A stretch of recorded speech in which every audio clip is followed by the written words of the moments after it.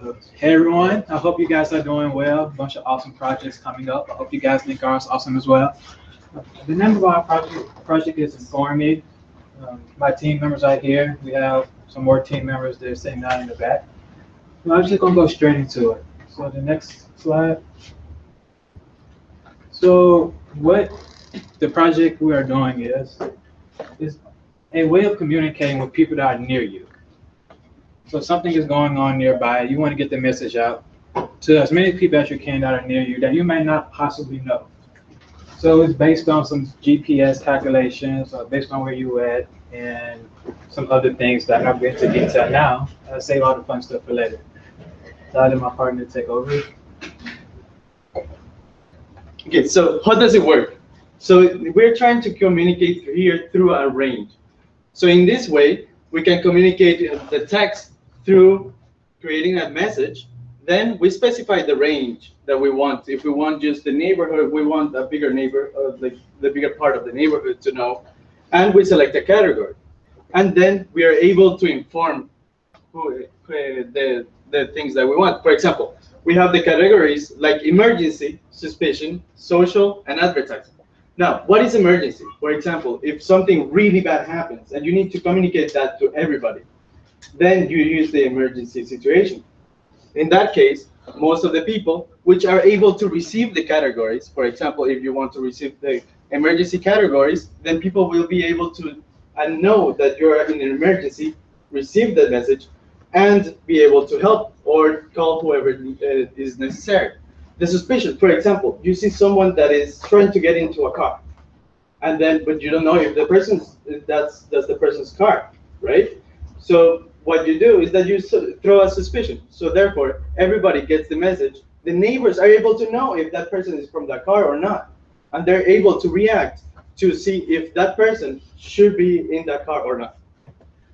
And social, for example, you want to get into a gathering, but you're not able to get all the messages out, and you want to do it as soon as possible. So for example, for a barbecue, if you want to get everybody in the neighborhood around, then you send a social event and for advertisement. For example, you are in a very small uh, Kmart that you created for yourself, you work real hard on. And then, for, a, for example, you want people that are around to know that you have specials, that you are better than other places. So then you pass around and you're able, in that area, in that range, you're able to send a special message. These are advertisements which you can also opt out of. So if you don't want to be spammed by every single market, you can get out of it. So, go ahead. So, you know, who is this for? Well, it's for everyone. It's for the young, the old, the adults. If you're a young person and you want to go play soccer, you want to play basketball, and you don't want to go by yourself, you don't want to make a whole Facebook event just to go play basketball. Take out your phone. Going to go play basketball at the at the park. Everybody with a cell phone, they can get text message, get the message. You want to have a barbecue? You only want your neighborhood to come. You don't care about anyone else. Send a message out to the people that are nearby. Hey guys, I'm having a barbecue. Come help me out. If something happened to you and you need somebody to come change your light bulb or you failed and you need somebody to help you up, you can hit the button. Hey, can someone come help me? So this app is for everyone. And how big is it? So for, for example, this is for all businesses, businesses too. For the small business, you can notify what makes you special. For the medium uh, business, you can notify what are your specials. And for the big business, you can create market events. These events can be notified for everybody. All right, so we talked about this a lot. How about we give you guys a nice demonstration of how the app work and look. So first thing is that you want to log in. You want to log in with your email address.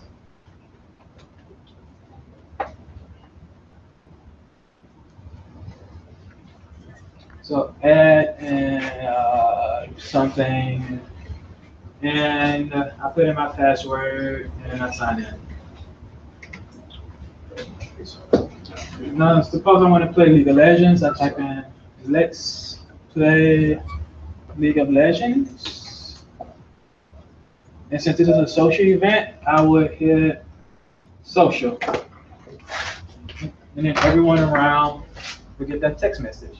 So we all should be getting messages pretty soon. Yeah. But while we wait on that, for the sake of time, oh, and there go my text message. So for the sake of time, we would end our presentation here. Is there any questions? Thank you. Question, question, okay? Yeah. You know, you're, you're saying, okay, you know, you're gonna get people, you know, on your block to sign up for this, right?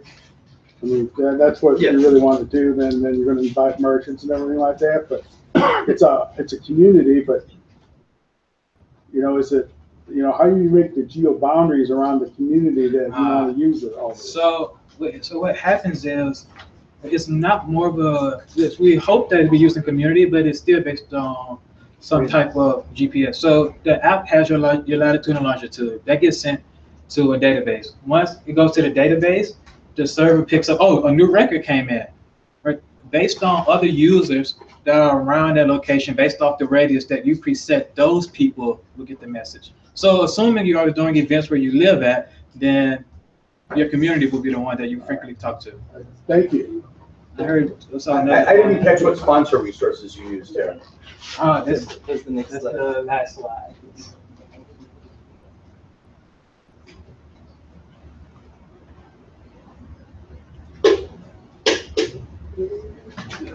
Oops. Yeah, Okay. Thank you. thank you guys.